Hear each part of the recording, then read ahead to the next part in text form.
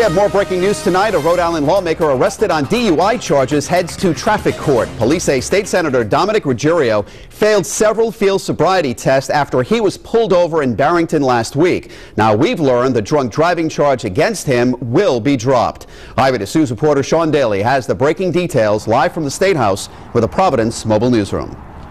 Less than a week after he was arrested and charged with driving drunk, the number two man in the state Senate managed to maneuver his way out of this legal jam without a criminal record.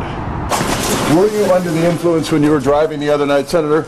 Senate Majority Leader Dominick Ruggerio said nothing on his way into the Rhode Island Traffic Tribunal this afternoon.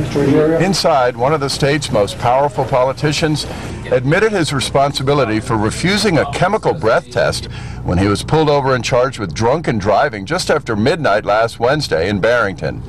His driver's license will now be suspended for six months and he'll serve 10 hours of community service. In exchange for today's admission, prosecutors agreed to drop the charge of driving under the influence. That's expected to happen tomorrow at District Court in Providence. Eyewitness News legal analyst Lou Pulner is directly involved in this case because he's also Barrington's town solicitor. Tells us the resolution of both the civil breath test refusal charge and the criminal DUI charge in this way is routine. Can you see how this looks as though this might be a deal because he's connected at the State House? Anybody who understands the process would know it's not a deal. Senator, can you tell us why did you stop in the middle of the road? Lou Pulner says Senator Ruggerio would have faced only a three-month license suspension if he had pled guilty to the DUI charge instead of admitting to the breath test refusal charge. As far as we're concerned, if somebody has a problem, you know, drinking and getting behind the wheel, we'd rather have them off the road for six months instead of three.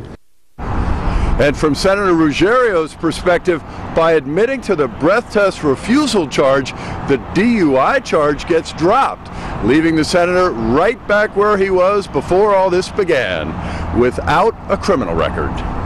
Live at the State House with the Providence Mobile Newsroom, Sean Daly, Eyewitness News.